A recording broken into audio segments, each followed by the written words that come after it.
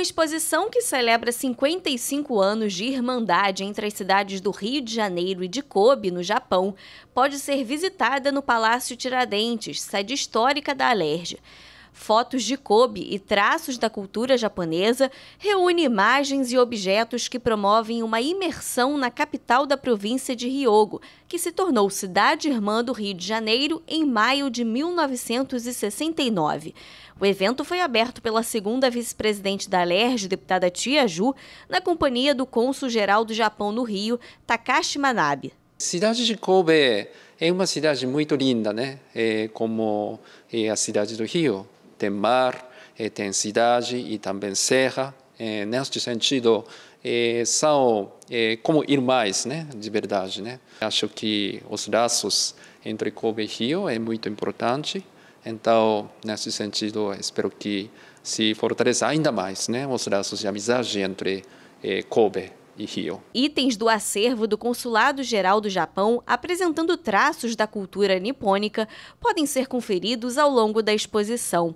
Com uma população estimada em aproximadamente um milhão e meio de habitantes, Kobe, além de ser um centro econômico do país, tem uma grande variedade de locais turísticos, assim como o Rio de Janeiro.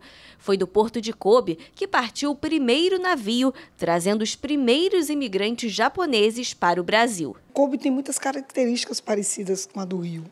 E quando eu vi essa exposição pela primeira vez, eu é, conversei com, com o cônsul Disse, vamos trazê-la para o nosso Palácio Tiradentes também, colocar no Palácio Tiradentes, para que as pessoas é, possam visitar, ter conhecimento, saber, conhecer a história, que, é, que, tem uma riqueza cultural.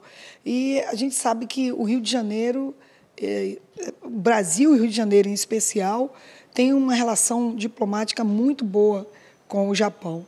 E essa troca de conhecimento, de experiência cultural, é, não só comercial, mas cultural entre os dois países, são interessantíssimas e muito importantes. O Festival de Bonecas, chamado de Rinadan, mostra a celebração do Dia das Meninas no Japão.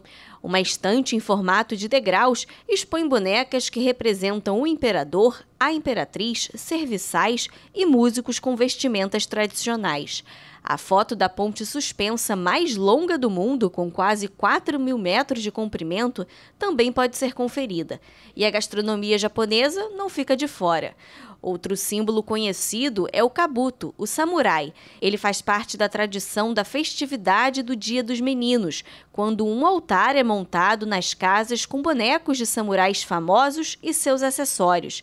O samurai simboliza a força e o espírito guerreiro. Muito legal ter eh, esse intercâmbio cultural, né? conhecer um pouco mais da tradição do Japão e toda essa amizade né, com a cidade do Rio de Janeiro. É muito interessante, tá, tá achando bem legal. A exposição faz parte do trabalho do Departamento de Cultura da Alerj, que anunciou que o Palácio Tiradentes está de portas abertas para receber os visitantes. Para nós do Palácio Tiradentes é uma honra receber esse intercâmbio cultural, né?